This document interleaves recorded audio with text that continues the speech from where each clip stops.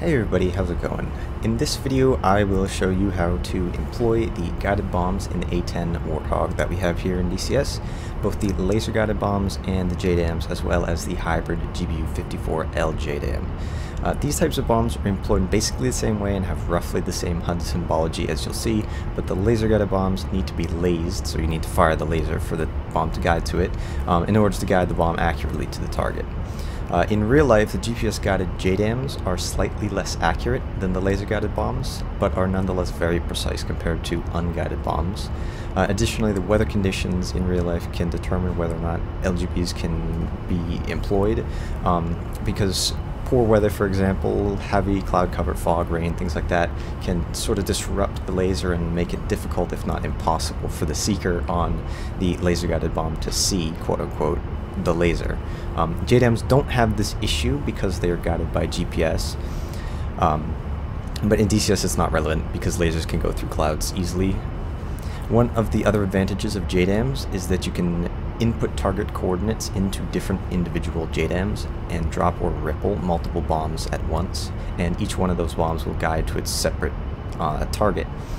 But of course you have to all of the targets have to be relatively close to one another so that you can drop all the bombs at once and they'll all be in range. Now, before we get going, we have some controls that we need to go through. You're going to need your DMS switches, so your forward, aft, left, and right. You're going to need your TMS switches, forward, left, right, and aft. You will need your nose wheel steering button, your boat switch, uh, the China hat switch, mostly forward and aft. And, well, that's all it is actually, my bad. Just forward and aft. Um, Coolie switch, left, right, up, and down, but mostly you're just going to need right for this case. Uh, you are also going to need your HOTAS slew buttons, either as an axis, or you can have them as just buttons if you don't have an extra little mini joystick on your HOTAS or something. Uh, you're also going to need your HOTAS master mode button and weapon release. And I'm going to talk through what you're going to need, obviously, all of those controls for in a minute. One thing that's very useful in the A10 is because there are so many controls, you have these knee boards you can open, so you can open it by pressing and holding K, or you do right shift K and it will hold it open, and your brackets to switch back and forth between pages. But basically it's kind of like a little cheat sheet. So it tells you what each one of the controls are, and what it's going to do depending on what sensor you have set as SOI or sensor of interest. So we're going to be focusing on TGP mostly for today for a targeting pod because that's what we're going to be using to guide to find targets and guide our bombs to them. So we'll get right into that. So first thing we want to do here is set our left MFD to the DSMS page here where we have all of our weapons.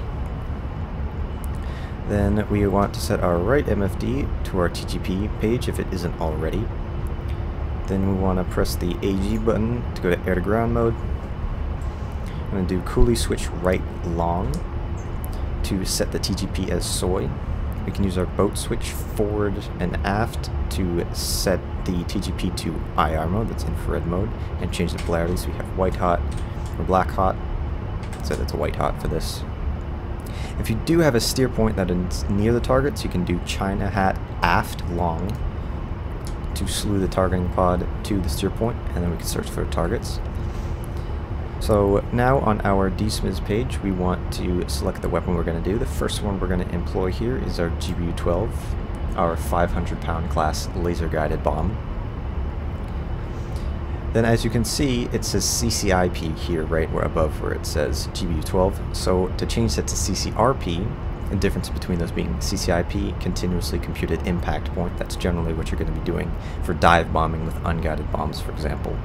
CCRP, continuously computed release point, is generally what you're going to do for a straight and level bombing, which is what I generally use for the, or is what you, it is what you use for employing your guided ordnance.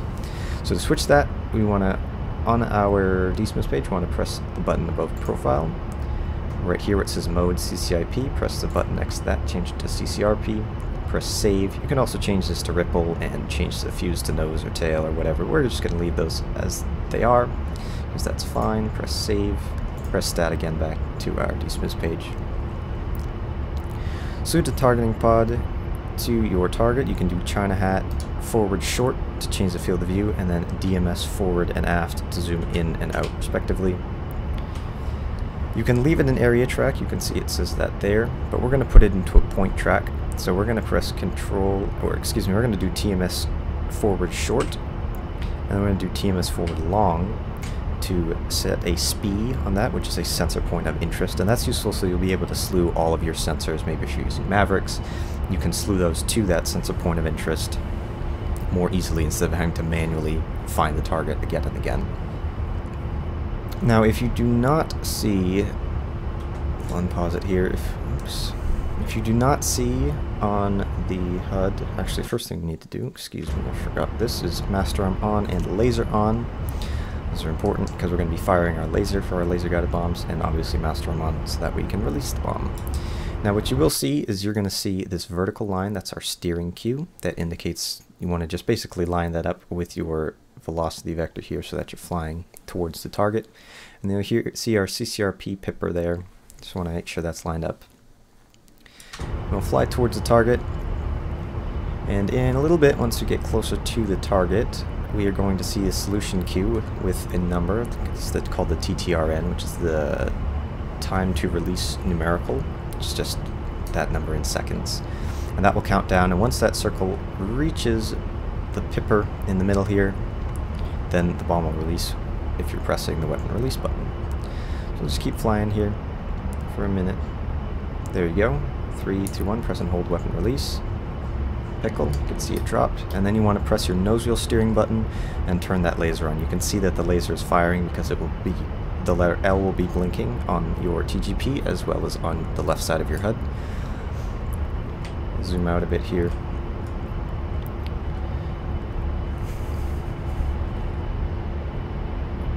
Your target's somewhere down there. And we'll just wait here for our bomb's impact. You can see that countdown on the TGP. There we go, Shack.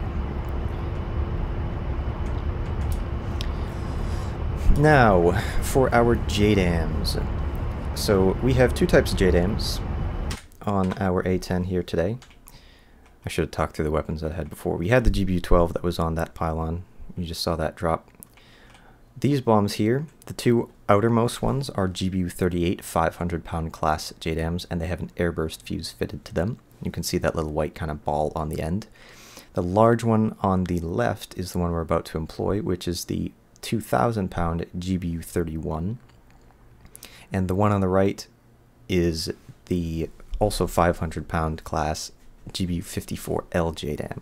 So it does have an INS and GPS guidance system that can be used as a regular JDAM, but it also, you see that sort of black ball with a little purple thing in it, that's a laser seeker.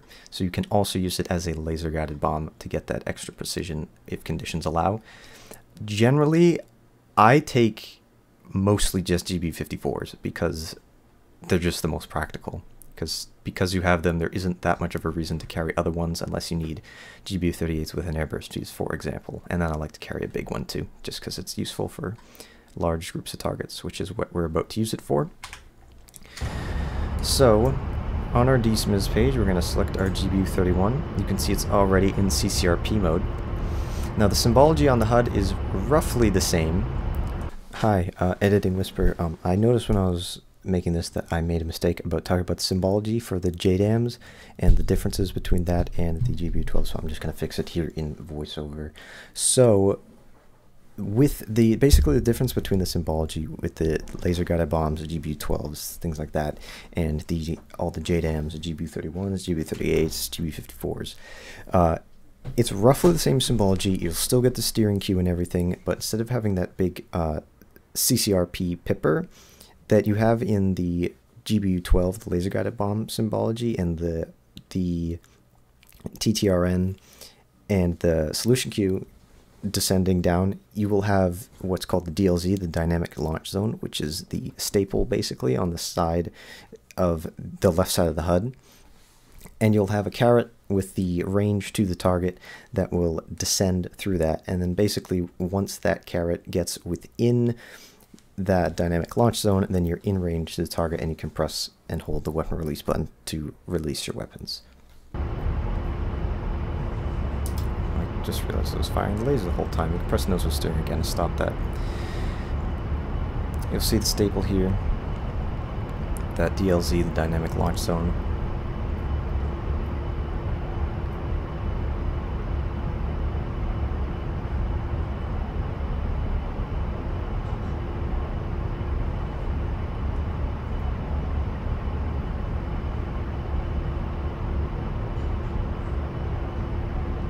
And we're in range, so we're going to press our weapon release button. Pickle.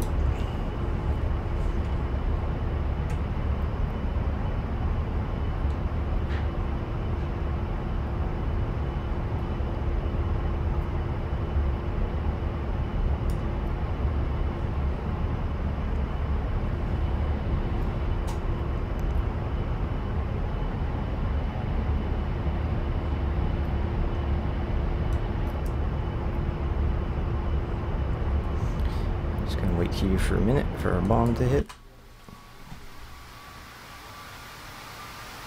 A very vertical dive. Pretty close to the target here though. Shack.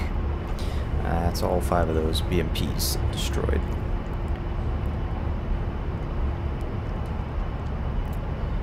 So that pretty much covers it for the basic employment of the guided bombs with the targeting pod in the A10C Warthog that we have here in DCS. If you have any questions, comments, or concerns, let me know in the comments.